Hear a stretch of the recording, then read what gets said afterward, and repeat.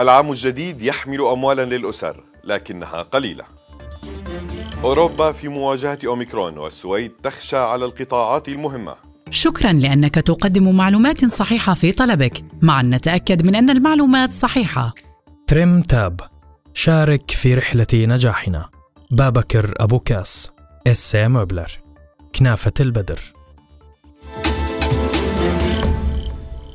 أهلا بكم إلى نشرة أخبار الكومبس معكم على يعقوب. مع مطلع العام الجديد ستطبق السويد تخفيضات ضريبية مع زيادة في بعض المساعدات وستنخفض ضرائب العمل بحيث يحصل جميع العاملين بدوام كامل على 200 كرون إضافية شهرياً. كما سيستفيد كل الذين تتجاوز أعمارهم الخامسة والستين عاما من تخفيض ضريبي آخر. في حين سيرتفع الحد الأقصى لنقدية المرض sjukpenning من 800 كرون إلى 1027 كرونا في اليوم. وستزيد علاوة السكن للمتقاعدين والأشخاص الحاصلين على مساعدة المرض. وسيتم تخفيض الضرائب على البنزين والديزل لتنخفض الأسعار بنحو 50 أورا للتر الواحد اعتبارا من مطلع أيار مايو المقبل. الميزانية المطبقة في السويد الآن هي ميزانية أحزاب المحافظين والمسيحيين الديمقراطيين وديمقراطي السويد. إقرار الميزانية الخريف الماضي شهد أحداثا درامية أدت إلى استقالة رئيسة الوزراء المنتخبة ماغدالينا أندرسون بعد ساعات من انتخابها في البرلمان. الحكومة فشلت في تمرير ميزانيتها بينما فازت ميزانية أحزاب المعارضة, أحزاب المعارضة الثلاثة بمشاركة أسد للمرة الأولى بعد أن كان معزولا في البرلمان. كورونا ينتشر بشكل متسارع في أوروبا. دول تستعد لمواجهة المتحور الجديد أوميكرون. وفي السويد يتوقع خبراء أن يهيمن أوميكرون على حالات العدوى في ستوكهولم وسكونة قريبا. الوظائف المهمة في المجتمع كمراكز الطوارئ وإمدادات الماء والكهرباء قد تكون مهددة حال زيادة انتشار العدوى. هيئة الطوارئ وحماية المجتمع MSB قالت اليوم إن الخطر يزداد لدى مجموعات الموظفين الصغيرة التي تعمل على مدار ال 24 ساعة. ومنذ آذار مارس 2020 اتخذت السويد تدابير للحد من انتشار العدوى في أماكن العمل هذا.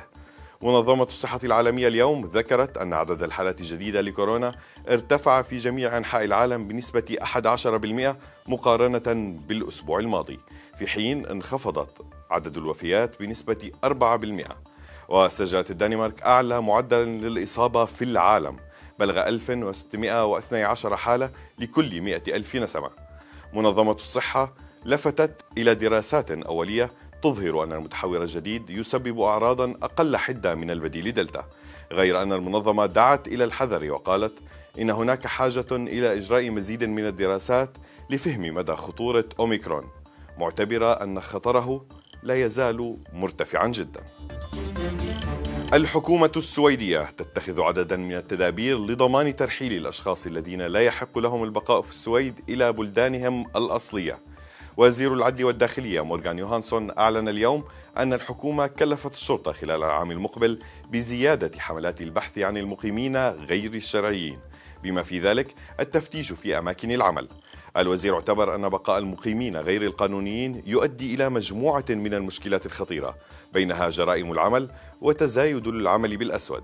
حكومة الاشتراكيين الديمقراطيين تريد أيضا استخدام المساعدات السويدية للبلدان النامية في التأثير عليها بهدف استقبال الأشخاص المرفوضة طلبات لجوئهم في السويد.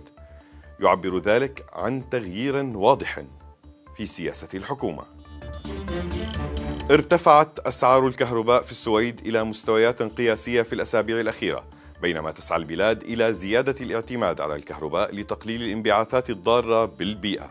قضية الكهرباء وكيفية إنتاجها تثير انقساما حادا بين الأحزاب البرلمانية خصوصا حول الاستفادة من الطاقة النووية. السويد تتبنى هدفا مناخيا يتمثل في القضاء على الانبعاثات الضارة بحلول العام 2045 الأمر الذي يتطلب زيادة الاعتماد على الكهرباء. أحزاب ترى أن الهدف قابل جدا للتحقيق وأخرى ترى عكس ذلك. كتلة اليمين واليمين المتطرف تعتقد بأن السياسة الحالية المتبعة لن تؤدي إلى الاعتماد على الكهرباء المتجددة بشكل كامل. في حين ترى كتلة اليسار إضافة إلى حزب الوسط أن ذلك ممكن اعتمادا على المصادر الكبيرة للطاقة المتجددة في البلاد. بقاء الاعتماد على الطاقة النووية محط خلاف آخر. انقسمت فيه الأحزاب إلى كتلتين تقريبا ويبدو أن أسعار الطاقة وقضايا المناخ ستلعب دورا محوريا في أجواء ما قبل الانتخابات المقبلة في البلاد. قتل صديقته بالمطرقة وأخفى جثتها ثم خرج يبحث عنها مع الشرطة. المحكمة أدانت اليوم رجلا يبلغ من العمر 27 عاما بجريمة قتل الشابة إيلين كلينت بيري. البالغة من العمر 18 عاما في مدينة هار جنوب السويد وعاقبته بالسجن 16 عاما. إيلين اختفت في 30 آذار مارس الماضي وقالت صد... وقال صديقها إنها غادرت منزله حوالي الساعة الثانية ليلا بينما أطلقت الشرطة عملية بحث كبيرة عن الفتاة قبل أن تجدها جثة هامدة. وكانت القضية واحدة من جرائم عدة ارتكبت ضد نساء على يد شركائهن في الفترة نفسها. الأمر الذي أحدث ضجة في البلاد. دفعت سياسيين إلى التعهد بتجديد عقوبات العنف ضد المرأة وزيادة تدابير حماية النساء. نشرتنا انتهت. للمزيد من الأخبار والتفاصيل تابعوا موقعنا الكومبس punkt se إلى اللقاء. تريم تاب. شارك في رحلة نجاحنا. بابكر أبو كاس. إس موبلر كنافة البدر.